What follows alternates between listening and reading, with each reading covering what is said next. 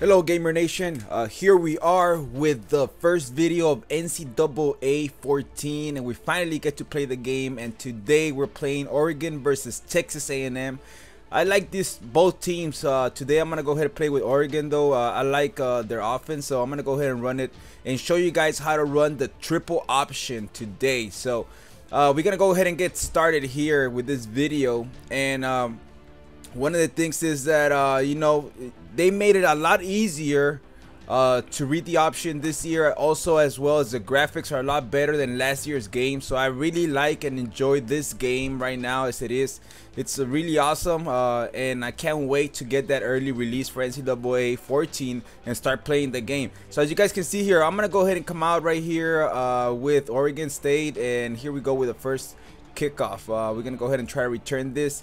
And uh, today is the the read option and triple option. I'm gonna go ahead and show you guys how to set up this play. I could basically run this all day.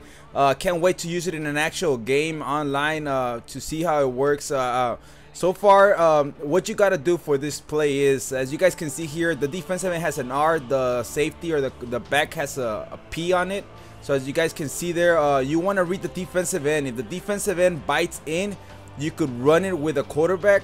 As you guys can see here, this time the defensive end on the left, he stayed, he contained the the quarterback. Therefore, then at that time you could uh, let it uh, release it to the running back. So right there, the the defensive end on the left lost containment, and uh, we decided to run it uh, with the quarterback as well. So how do you do this? Okay, as you guys can see here, the way to pitch it off with the pitchman is with uh, LB or L1 on PlayStation 3 you want to uh, that's how you release the ball. If you want to release it to the running back you could uh, right here as soon as you read the the defensive end and he stays standing up uh, you could go ahead and, and press uh, you press A on Xbox or X on PlayStation 3 and he will let the ball go.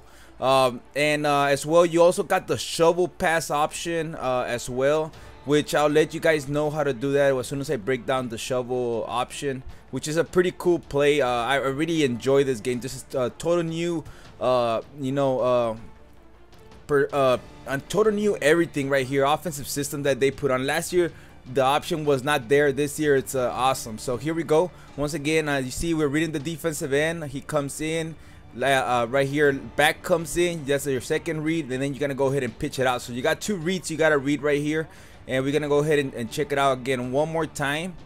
We're reading the defensive end on the left. He comes in. We're gonna go ahead and run it with the quarterback. In that case I could have pitched it in the last second but I didn't have time. I didn't want to risk it as that much. So here we go. Uh, we're gonna read. Defensive end comes in. We're gonna go ahead and run it up uh, the gut. Could have pitched it off but I didn't want to risk it. I felt that I could get there. Now if there's a faster quarterback in the game that uh, you know is gonna be definitely awesome and right here, I'm just gonna go ahead and settle for right for uh, for a field goal. And uh, this is pretty much it. Uh, right here, this is how I ran the option. Uh, just uh, kept it right here conservative in this place. So hopefully you guys find this tip helpful.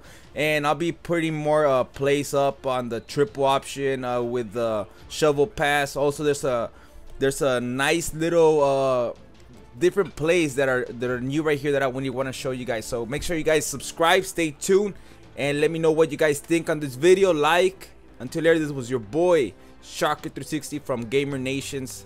Bye